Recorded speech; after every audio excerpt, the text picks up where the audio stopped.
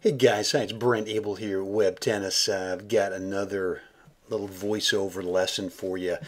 Uh, and this is from uh, the Brisbane tournament uh, going on right now, 2012, January 2012 in Australia. And uh, this point between Santiago Giraldo and uh, Gilles Simon really illustrates a shot choice we've got when we get that short ball. And you know that short ball where we you know, we kind of work the point, and this is Santiago right here. Uh, I'm sorry, this is uh, this is Giraldo right here, and this is Simon over here. Uh, Giraldo serves and you know sort of fights off a ground stroke there. Um, plays a very tough shot cross court, and then gets not really a short, obviously not a short ball. If we back this up, we're to see it lands you know, I mean, it lands right here in the court. So this is not a short ball, but it is kind of sitting. And uh, he gets into good position, really drives uh, a tough shot cross court.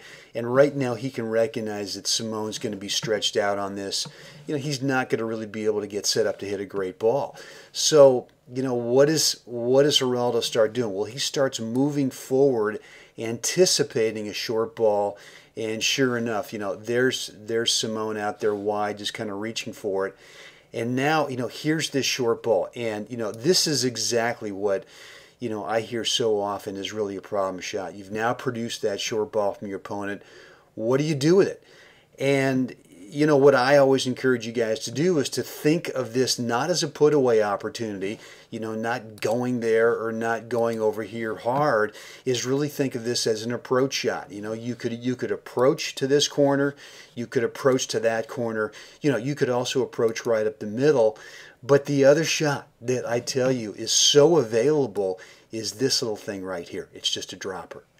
And I want you starting to think about this um, this short ball that you produce in here, make it look like you're to drive it, and then go ahead and drop it. Okay? So let's go ahead and look at this in real time. And uh, this is really just a great illustration of something that we can all copy uh, and model from what the pros do.